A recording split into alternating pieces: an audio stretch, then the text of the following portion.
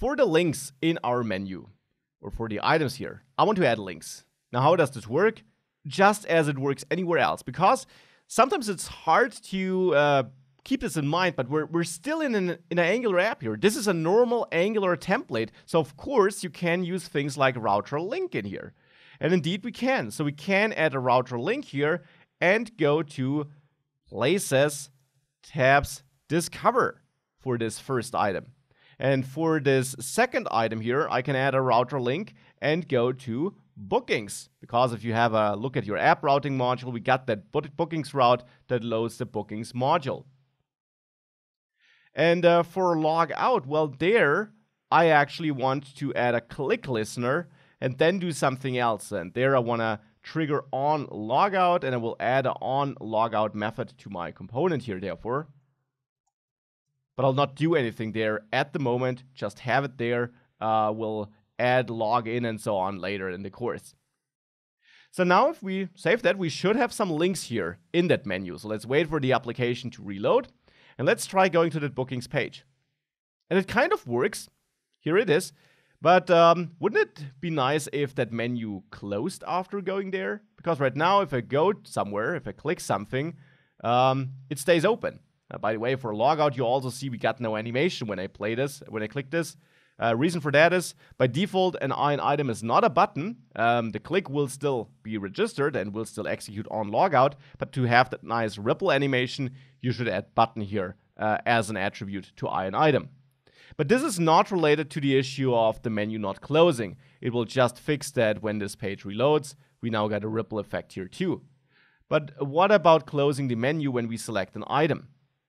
For that, we got two options. One option is we could add our own click listener, inject the menu controller, and then manually call close. You learned how that would work. But to me, that sounds really cumbersome. There is a way easier way of doing that. There is a special component Ionic gives you. You can wrap your list items or anything in your app anywhere that should close or should toggle, to be precise, the main menu with ion menu toggle. The difference to ion menu button is that this will now not render um, a hamburger and open the menu. Instead, it will render nothing, but you can wrap it around anything that should toggle the menu. Doesn't have to be inside of the menu, by the way. You could have this anywhere in your application.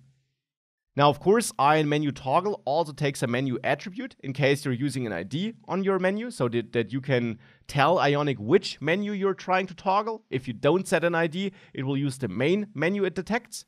And I will simply wrap ion menu toggle around all my list items here so that they all will close the menu when I press them. Here I am. So now with ion menu toggle wrapped around all items, now as this reloads, the menu closes when I tap one of these icons. So let's now make sure we also fix that bookings page here and add the menu icon there too. First of all, I'll set the title to your bookings. And then here I'll add ion buttons with a slot of start. And in there add the ion menu button. And uh, now we will be able to open the menu from inside our bookings as well. So let's wait for this to finish. Discover places, bookings, all working just fine.